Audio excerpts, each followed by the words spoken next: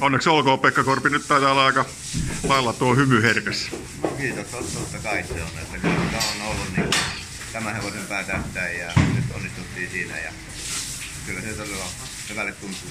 No mikä siinä erityisesti tuntuu hyvälle tällä kertaa? No mikä siinä tuntuu, että voittaa tämmöisen lähän terkkyä. Ei ole niitä helppo voittaa, niin kuin nähty. Mullakin on ollut aikoja saatossa monta monta hyvää hevosta ja on pitänyt niin pärjätä, mutta ei, ei ole vaan sitten onnistunut. Että kyllä siinä pitää olla kaikki, kaikki sattua kohilleen ja päivän vire hyvä ja, ja hyvä hevonen ennen kaikkea. No sä ennenkin tämän kyllä voittanut, mutta, mutta tota, no, niin, tarkoittaa, että tässä on aika monta maustetta, että iso porukka, vähän niin kuin jotenkin Suomen raviurheilun, miten sanois, tulevaisuus, rahat menee isolta osalta hy, tosi hyvään tarkoitukseen. Mihin ne nyt olikaan oikein menossa ne rahat? Ja millä, missä suhteessa?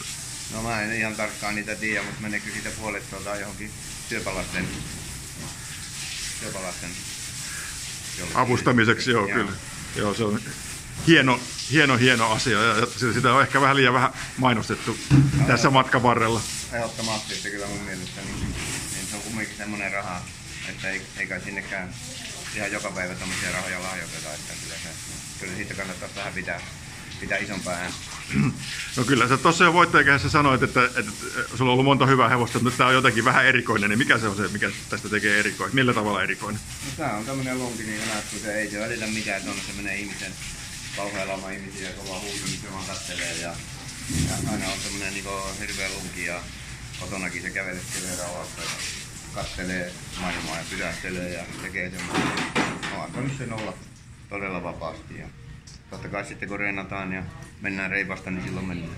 Niin, että sillä on kuitenkin hyvä asenne siihen työhön kaikesta päätellen. Kyllä, ja se kyllä sitten ryhtyy tosi hyvin, kun tuota, tuota, tuota, tulee se kilpailutilanne.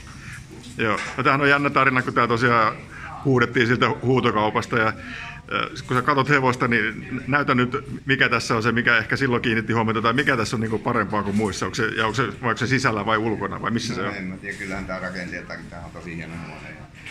Ja katsot näitä sierainia, sieltä pitää ilman kulkea helposti ja korvat on pitkä. Sekö on tärkeää? Niinhän ne väittää. Rehellinen silmä. Hyvä, ja. hyvä silmä. Joo. Niin, että pitää olla niinku trumpetit nuo tota, no, niin, niin, sieraimet sitten. No, ja sitten on veropaltaa ja se ravitekniikka, niin sehän on ihan tos, tosi hyvä. Ja... ja sitten urheilijan pitää vissiin kestää terveenä kanssa. No sehän se on tärkeintä, että eihän se on, on paljon lahjakkaita hevosia, mutta ei niillä ole, kun ne ei ole kestänyt reenata, niin, niin, niin eihän niillä samalla se on ihmisilläkin, että on paljon huippu hyviä urheilijoita, mutta jos tulee vaivoja, niin ei sitä ei tulla pärjää. No kerran te olette kipeänä kriteeriumissa, mutta nyt tuli revanssi. No joo, silloin saattoi olla vähän se. Ja muutenkin se juoksu ei ollut. Saattoi olla, että ei päivän veri ollut ihan hyvä silloin. Että, mutta ne on ollut ja mennyt. Ja tänään meni hyvin. No, näin voidaan sanoa. Tuota, se jotenkin tuntuu, että se jäi vielä vähän pyörittelee korvia sinne lopussakin, että oliko se edes väsynyt? No en mä usko, että se väsynyt oli, ei sitä käsiltä tuntunut. Ja, mutta sitten kun se jää yksin, niin se pikkusen on, kas, on liian, liian paljon tullut tuommoisia juoksuja, että ei ole kaveria vielä. Kyllä se mm. yleensä vastaa aika hyvin, kun joku on rinnalla. Mutta sehän ei ole hevosen huonoutta, jos kaverit ei pysy rinnalla. No ei, se on. No sitten se tulevaisuus, niin tässähän on vähän mielenkiintoinen juttu, kun nämä Raviliiga varsata huutokaupataan tämän nelivuotiskauden päätteeksi, niin, niin, niin mitä tässä tulevaisuudessa oikein tulee tapahtumaan? Mennään vähän sinne jo asioiden edelle.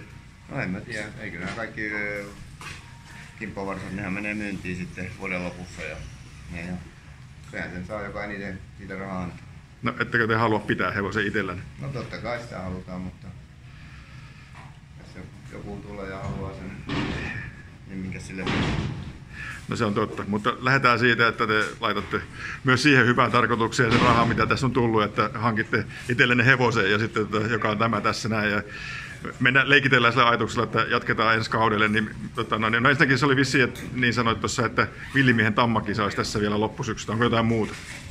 No joo, mitä kasvattaja kruunun lähtee auki vielä jotain. Mennään nyt vaan pikkuhiljaa eteenpäin, että ajetaan villimies ja sitten katsotaan sitten jo. Niin, mitä tämmöisellä hevosella voisi ensi vuonna tehdä?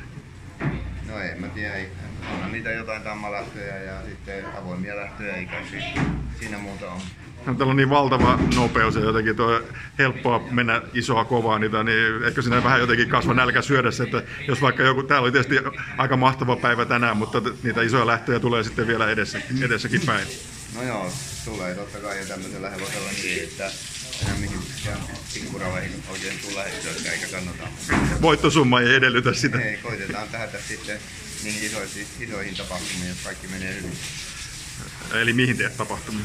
No onhan niitä Suurhollolla ja Suomessa syntyneille ihan hyviä Suomen mestaruus ja tämmöisiä lähtöjä, niin onhan niitä jatkossa. Ja, ja, ja onhan kansainvälisiä kisojakin, jos tuntuu, että on ihan niin hyvä, että pärjää tuolla maailmalla. Siellä on kyllä aika hyvät hevoset, mutta kyllä, kyllä, tämä, Voisiko se olla? kyllä tämäkin on aika hyvä. No onko siinä semmoiset välitykset, että siellä mennään semmoista kovaa niin pitkään, että ollaan tota, mukana esimerkiksi vaikka toukokuussa tuolla Tukholmassa? No en mä tiedä, kyllä tämä aika lujaa pääsee, että en mä niin kai.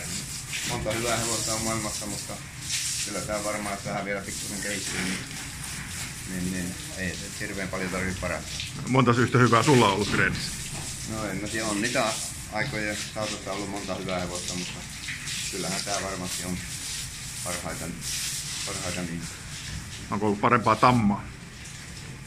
On mulla ollut aika hyviä tammoja, mutta en mä tiedä, onko, onko ollut parempaa tai ainakaan näin nuorena niin ollut, ollut yhtä hyvä. Että on niitä jatkoja, sitten on kehittynyt, kun on vanhentunut. Rix Voisi oli aika hyvä hevonen. Magical Queen, semmosia hyviä hevosia, mutta Niin tässä nykyaikana oli silloin joskus vähän kauempa, kau, kauempana menneisyydessäkin niitä kovia tammoja taisi olla, mutta, tota, mutta tämähän itse ratkaisee sen, että onko se paras vai, vai, tota, vai toiseksi paras. no kyllä se on voittosumma ainakin semmonen, että en mä oo tämmöistä rahaa millään muulla, muulla hevosella saa. Öö, no onko se kilpailutus, mikä sen tekee, se voittosumma vai, vai miten se on oikein saatu kasaan? No mitä, se on koitettu ajaa niitä isoja lähtejä, missä on rahaa ollut jaossa, niin ja se on siellä pärjännyt, niin sitä kautta se tuli. Niin, se ei ole ikinä pettänyt. No ei oo. Se oli vähän se kriteerimi, että olisi, olisi ollut vähän korkeammalla saanut olla, mutta, mutta, mutta se on ollut tosi hyvä. No hyvä, nyt me päästetään teidät kohta rauhaa. Kiitos koko Ravi Suomen puolesta ja pitäkää hevonen kotitallissa ja menestykää jatkossakin tähän tyyliin. No kyllä se mielellään pitäisi, että vaikka jos meillä reenissä, mutta pysyisi Suomessa, niin se olisi mun mielestä ehdottoman tärkeää. No niin se olisi, samaa mieltä.